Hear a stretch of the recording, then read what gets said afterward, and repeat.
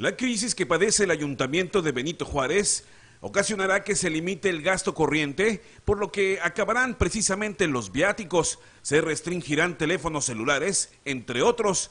Lo anterior lo manifestó el secretario de Gobierno, Eduardo Galaviz Ibarra. Durante una entrevista desmintió que se afecte la obra pública para el pago del préstamo por 100 millones de pesos que pretenden realizar para el pago de proveedores o algún imprevisto. Más bien es en el gasto corriente, no, no en la parte de obra, porque la parte de obra finalmente viene por eh, definición de los ramos que son inversiones federales, en donde ya está y si no se utiliza para esa obra, pues finalmente se pierde.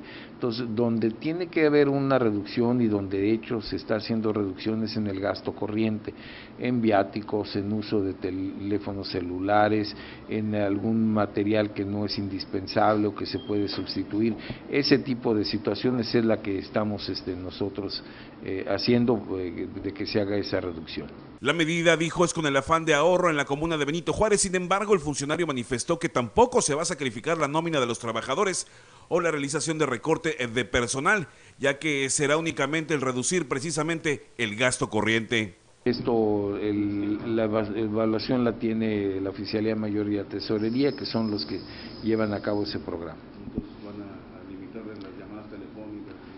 Todo lo que sea eh, estrictamente necesario, sí, lo que no tenga necesidad o que puede aguantar un par de, meses, este, en lo que se recupera la, la captación de recursos, se hará. Con imágenes de Javier Valladares, Juan Carlos Mendoza, Notivisión.